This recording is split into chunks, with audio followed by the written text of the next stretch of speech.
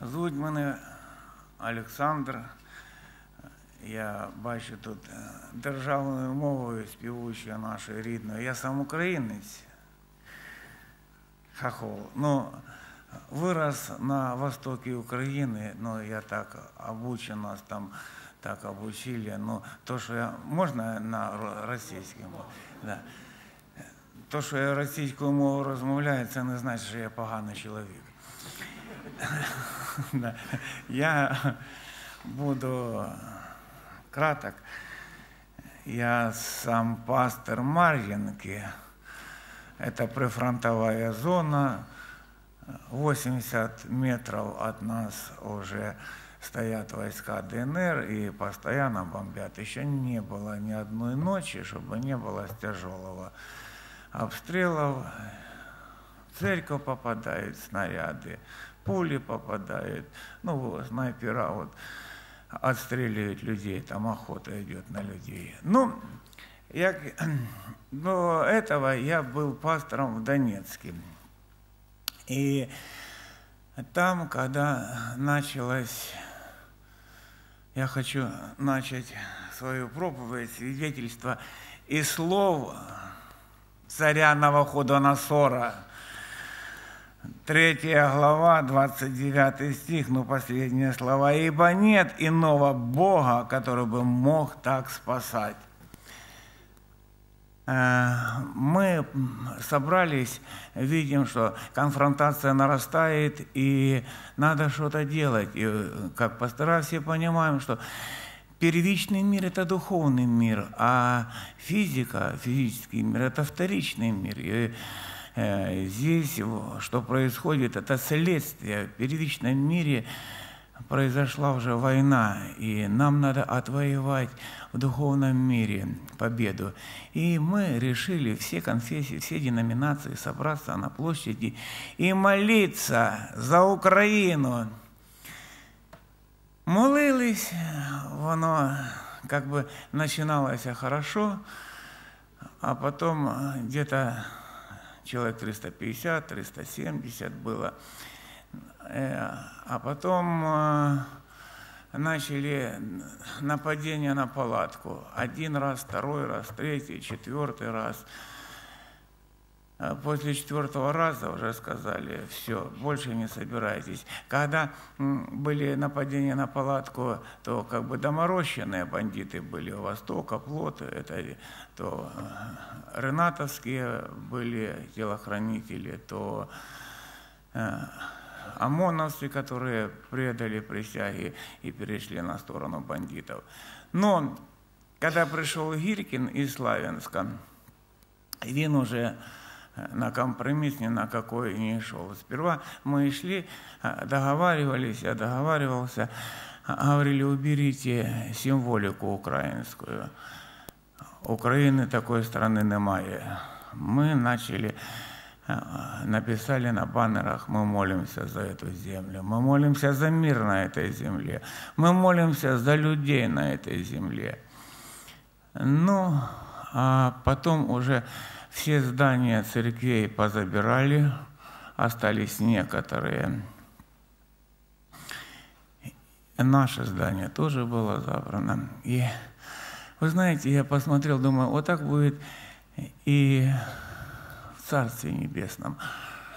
Туда ведут в Небесный Иерусалим 12 ворот, и неважно, какими ты зайдешь, или католическими, или протестантскими, баптистскими, пятидесятническими, все они идут к престолу благодати. И я там остался уже и проповедовал по воскресеньям, проводили служения. Что характерно, были все, и православные с такими христами, ну, правда, украинского патриархата, и католики, и баптисты, и пятидесятники, и харизматы, и с кафедры неслось одно и то же слово. Я говорю, вот это дух единства в союзе мира. Ну, и я чувствовал, что вот-вот это закончится. Оно, как бы, Бог говорит тебе. Но Бог мне сказал, никуда не уходи. Все поразбегались, А, я никого не осуждаю, поймите, правильно я рассуждаю. Уже знал, что у славянских служителей расстреляли, убили. И я утром вывозил людей из под обстрела, а вечером с 18 до 19 на молитву, вел молитву. И началось э, вот это сильнее, сильнее тучи сгущаться, и я каждый раз благодарил Бога. Я когда и шел на молитву, я не знал, вернусь я оттуда или не вернусь. Если я возвращался, я благодарил Бога. Спасибо тебе, Господи, ты еще один дал мне день. И вы знаете, э, Матвея 5 глава, 8 стих говорит, чистое сердцем узрят Бога. Как нам нужно зреть Бога. Я хочу узреть Бога не только здесь, приходя в церковь, а везде. И за рулем машины, и в дороге. И что бы я ни делал, я хочу зреть Бога. И, а я часто попадал под обстрелами, когда вывозил детей, а, потому что у нас было а, я вывозил в основном инвалидов. Мы договаривались, а у нас в церкви была горячая линия, договаривались, сколько надо людей вывести. Нам звонили на горячую линию, например, 5-7 автобусов. И в телефонном режиме договаривались, делали зеленый коридор, и договорились за 5 автобусов. 5 автобусов проходит. Если кто-то пристроится и сзади снайпера отстреливали – и приходилось всякими путями. И попадал и под минометный огонь. Машина у меня вся в осколках. Бог спас, сохранил. Я тогда до Бескровного вывозил у Красноармейска. Интересный случай. А, у нее ребенок, она сзади схватила, а бой идет за Авдеевку. Э, и лупят, и лупят, там не продохнешь. Мне говорят, вы туда не проедете. Я говорю, мне надо вот с ребенка вывести. А попробуйте через царскую охоту. Я проскакиваю через царскую охоту, там не стреляет. Дальше еду, смотрю, попадаю под минометный огонь, и кто-то целенаправленно стреляет. То когда хаотичный, там взорвался, там, а то метра за два ложатся снаряды, машину подкидывает взрывной волной. И она схватила этого ребенка. Каже, ой, я боюсь, мы погибнем здесь. Я говорю, не бойся, только веруй, молись. Она, я каждое воскресенье ходила в церковь, я свечки ставила. Я говорю, не бреши меня, молись. Она, а я не знаю як. Я очень наш знаю. Говорю, молись, отче наш. Она читает отче наш, а я Прошу, Господи, яви славу свою, поставь ангелов-хранитель, сохрани, чтобы она увидела славу Тебе, чтобы она увидела, как Бог может спасать, Господь. И когда мы выскочили из-под обстрела, и еще час до Красноармейска, я ей часто рассказывал Евангелие, проповедовал. Она, остановитесь, я останавливаюсь. Закончится война, я приду к вам в церковь. Я буду служить Богу. Я хочу покаяться. Я выхожу с машины, а там тучи такие. Я говорю, смотри, сатана теряет одну душу, все поднебесье восстало, а Бог приобретает душу. А потом приехал туда, рассказываю, говорю, принимайте, сестра наша, и рассказываю, как она покаялась. А там дьякон почитал затылок, каже, чуешь, может их всех провести через линию фронта, может они все покаяться. Так от, як тривога, так і до Бога. Да. И мы простояли там 258 дней. Это было нонсенс. Это а, даже наш молитвенный Майдан разглядали в Америке. Как что-то сверхъестественно. На оккупированной территории мы стоим и молимся – но на 158 день я посмотрел, молитва закончилась, а я людей всех, я уходил последний, чтобы люди были в безопасности. Смотрю, люди порассаживались, уже поразъезжались, все в безопасности. И я подхожу до машины, до меня Пришли вооруженные люди. Кто здесь главный, кто куратор, кто пастор. Я говорю, да, я куда же буду деваться, не будешь отказываться. Забрали машину, меня садились в машину, отвезли в разведку. Вот. Ну, в разведке там видно, что люди интеллигентные, ни одно образование, видать, но и высшее образование есть. И военная выправка. Ну, начали меня спрашивать, а, кто там вас курирует, кому вы сдаете отчеты, кто вас финансирует, э, какие кураторы остались, какие резиденты остались в Донецке, явочные квартиры. Я говорю, друзья мои, мы не организация, мы организм, мы тело Иисуса Христа. А вот видите ведерко, вот это мы живем за счет пожертвований. Но они не понимали, потом отвезли в подвал меня, и там уже начали пытать. Вы знаете, э, когда зашел я, завели меня, не зашел, и увидел вот эти орудия пыток, я прочитал, э, вспомнил, что я читал за Святую Инквизицию. Так Святая Инквизиция – это дети, комсомольцы по сравнению с вот этими пытками, которые там аппараты придумали. Э, но меня три раза выводили на расстрелы. Вы знаете, я видел Иисуса Христа. Я помню, как я читал э, святого Августина, он больше тысячи лет, э, уже ему нету, и он много трудов написал, вот если попадется книга «Небесный Иерусалим».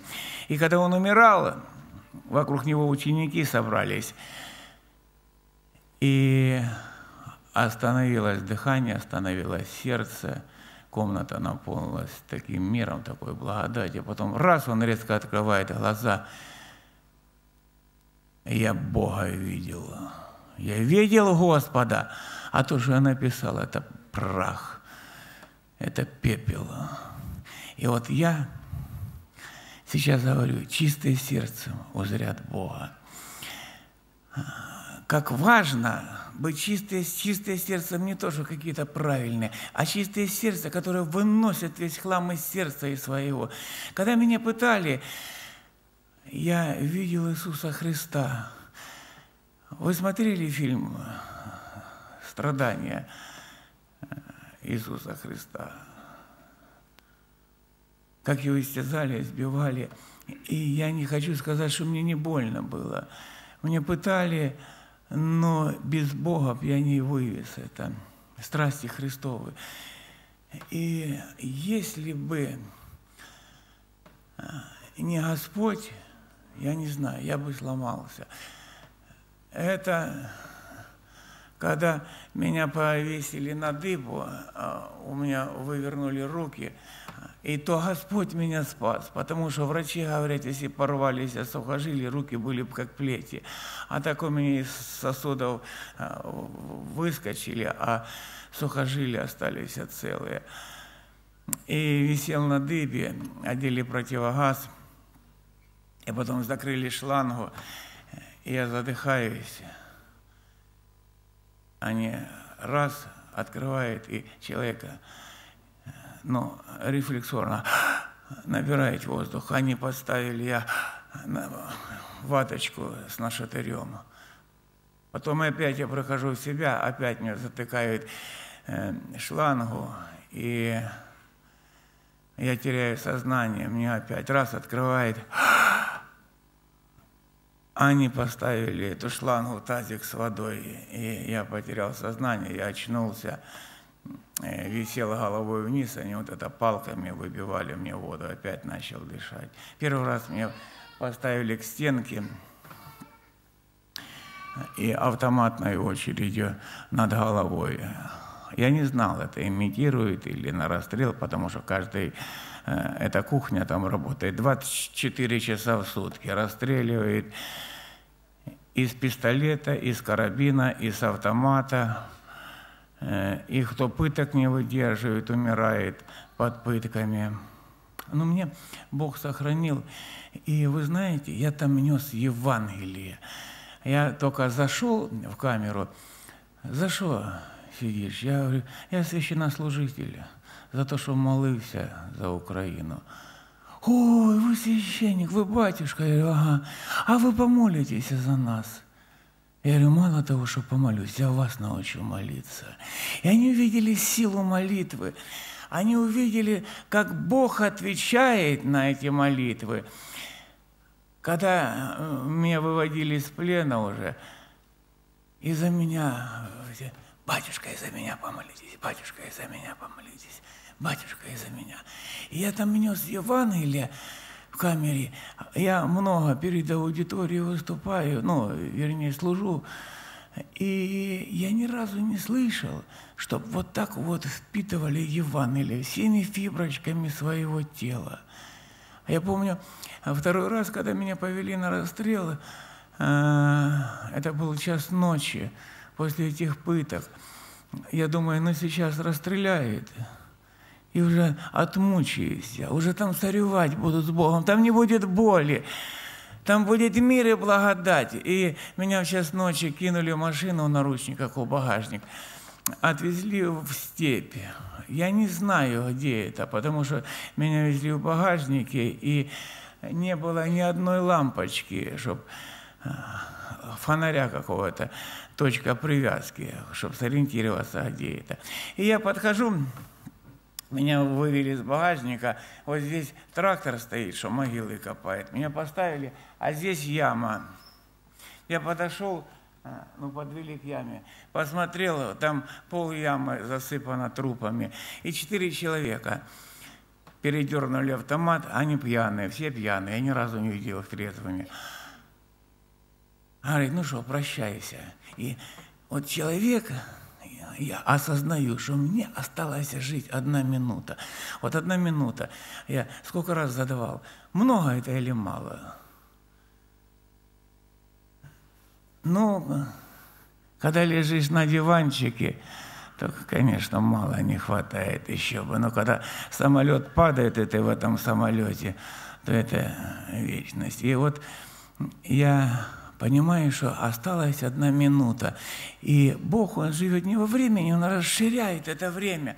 И я увидел всю свою жизнь от рождения и до этой ямы. И Бог меня показал, где я недолюбил, где я не додал, где я не помог, а мог помочь. Я как тот разбойник, который висит с правой стороны, говорит, я он же не мог сказать, что не буду больше грабить, не буду убивать. Господи, помяни меня в Царстве Своем. И я им говорю, друзья мои, самое главное, чтобы не было ненависти, не было зла, было прощение. Я видел, что эти люди, они рабы, они одержимые. Я э, вспомнил, сколько Христос меня простил. И Бог не желает смерти грешнику. И здесь мои последние слова были, я говорю, вы знаете, я знаю, куда я иду. Я знаю, кто меня там ждет. Я знаю, кто меня там встретит, и где я буду. Потому что я вспомнил Стефана, которого побивали камнями. Отверзлись небеса, он увидел стоящего Господа. Хотя Иисус нас сидит одесную Отца нашего Небесного. Но сила прощения заставляет его встать с престола. Иди, сын мой, иди ко мне, дитя мое, вечное объятие мои. Я знаю, куда я иду. Я говорю, а вы идете вы никуда, ваша дорога – вы никуда, и мне, говорю, вас жалко. Я не хотел бы оказаться на вашем месте. Тут автоматная очередь под ноги мне. Я не упал в яму, как-то устоял, но разом уже думал, что уже все. Потом меня подхватили, а, я думал, что это ангелы, а от них ужасный перегар. Я так понял, что это не ангелы, я даже пожалел, думаю, опять бить, опять пытать везут. Но сила молитвы, она действует. За меня молились все. в интернете выбросили, что пастора с Донецка арестовали. И весь земной шарик, очень маленький земной шарик, во всех странах молились. И когда меня просили, чтобы я молился, вот там меня, со мной сидел один, а, там, когда перед расстрелом вешают стричку, желто-блакитная стричка, это значит, приговорили к расстрелу. Ему говорят, завтра тебя расстреляют. Он подходит, батюшка, меня завтра расстреляют. Я боюсь. Я не знаю, что меня ждет. Я не знаю, куда я иду. Я ему начал рассказывать Евангелие. Я ему начал проповедовать. Мне закрывали рот. Что ты тут несешь чуждую нам религию американскую? Я им нес Христа, живого, распятого и вновь грядущего. Я не знаю, что с этим Вениамином, но это по молитвам, а я остался живой. По молитвам я здесь. Я хотел думал, что уже все, но у Бога другие планы были. После того, как я вышел с плена, сестры стояли под НКВД, молились, уже начали подтягиваться э, и иностранные журналисты, они боятся огласки. И в разведку там звонит начальник НКВД. Тут какие-то блаженные стоят, мужчин боялись потому что мужчин арестовывали всех. А сестры с церкви стояли, молились. Тогда начальник разведки говорит, выйдите им, скажите, что я его оставил на 15 суток, через 15 суток вы, выпущу. Они говорят, ну тогда мы будем 15 суток здесь стоять, пока меня его не выпустят. И потом он говорит, выпустите его. Это а, планы, но я хочу сказать, что прежде чем поставить на какое-то служение, Бог испытывает любых всех пророков, царей. Возьмите Библию. Оказался верен, даст больше, верный, верный, верный. Того же Иосифа, Давида. Но я сейчас не за это хочу говорить. У каждого цель в жизни есть. Я думаю, Господи, для чего? конце концов, вызывает меня в Европарламент. 28 стран мира в Европарламенте. Я не хотел ехать туда. Я не хочу влазить в политику. Политика – это грязная девка. Какой я э, политик? Я не политик. Но потом Бог сказал, что надо, чтобы прославилось имя мое. Я приехал Европарламента. И там дают, мне дали 10 минут времени, это говорить, про все про то переводчество. Я говорю, что в вашем понимании все то. Но это вот президент Европарламента говорит, 28 стран мира, любую страну, какую выберете, Оставайтесь жить повністю гособезпечення, машина, дом. А як же моя рідна ненька Україна? Я кажу, як у вас мати захворає, вона бідна, а тетка богатая предлагает вам, приходи до меня. Вы бросите мать свою? Нет, и я говорю, не брошу. Бог дал этот землю мне, и я буду делать все самое что смогу по своим силам, чтобы мой народ, моя страна процветала. И когда дали 10 минут меня, я говорю, прошу про все.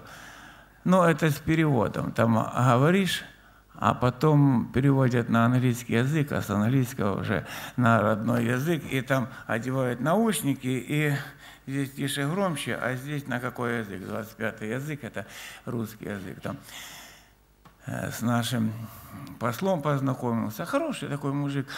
Я говорю, Микола. Я говорю, а отчество? Микола просто. Ну, хорошо, хай буде Микола. И это... Я думал, что-то подготовиться хотел. А вообще этот лист F4, он на две минуты доклада. То есть это пять листов. Я одном, на одном листке там написал а, вступление, основная часть и заключение. И когда мне дали слово, там же не встают, а э, сидишь вот э, в президиуме, включили микрофон. Я взял этот листок, с этого листка только прочитал первую строчку. Уважаемые дамы и господа, отодвинул этот листок и начал нести Евангелие. 40 минут там проповедовал Евангелие. И никто мне не перебил. Посол из Великобритании, говорит, я 13 лет работаю в Европарламенте, такого доклада не слышал. Мне приглашали еще и в Рим, и в Париж, а вы можете у нас в парламенте доклад сделать, я могу проповедовать Евангелие. И я думал, что вот, как у апостола Павла, у него была цель в жизни проповедовать кесарю Евангелие, ему отрубали голову. Думаю, ну все уже, выполнил свою миссию. Не тут-то было. Бог не выбирает легкие пути. Говорит, а теперь ты испытан, теперь иди туда в Марьинку. Тем более интересна позиция, когда я приехал из Европарламента, эта дура Россия за меня уплатила э, ну, цену, сказала, если меня арестуют, приведут живого, какую-то цену платят. А потом, когда мне дали звание Героя Украины, эта цена пять раз повысилась. И меня кидает на линию фронта. И хата моя была 250 метров от огневого рубежа. 250 метров, там уже ДНР, флаг ДНР висит. Я говорю, Боже, я знаю, что ты со мной. И я хочу, чтобы этот мир Божий был в вас, чтобы вы знали Бога, не о Боге, не теологию, не богословие, а лично знали Бога. Тогда вы ничего не будете бояться. И этот внешний мир, он будет кричать, но тот внутренний мир, который превыше всякого ума, он сохранит вас. Если Господь сказал, что переправимся на тот берег, значит переправимся, друзья мои. Мы все вместе с Христом в одной лодке. Да благословит вас Господь.